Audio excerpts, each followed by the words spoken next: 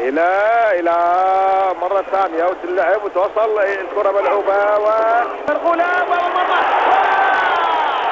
بنالتي بنالتي بمر روجي ميلا. روجي ميلا بمر مرور سليم تماما. شوفوا الإعادة. شوف شوف الإعادة. شوف شوف شوف روجي. آه آه آه. هو رفع ايده ما سويت شيء بعد. وضربة جزاء. ضربة جزاء بينفذها ضربة جزاء وهذا روجي ميلا روجي ميلا 38 سنة.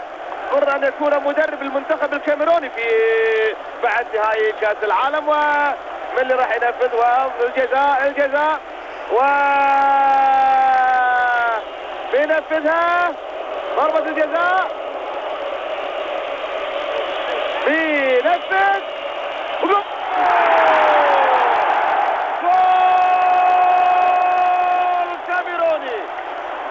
جول كاميروني في الدقيقة 16 في الدقيقة 16 من ضربة جزاء. أيضا ضربة جزاء بدور الثمانية وبيشوف بيحطها جول. وبيحطها هدف. هدف كوندي. كوندي. كوندي. بيحطها في مرمى شلتوني واحد واحد. واحد واحد. النتيجة الآن هدفين للكاميرون مقابل لا ش... م- هدف للكاميرون مقابل هدف لإنجلترا وتبديل آخر في فريق آه، في فريق الكاميرون. اللاعب مفيدي خرج رقم 10 ونزل بدلا من اللاعب رقم 11 اللي هو إيكيكي.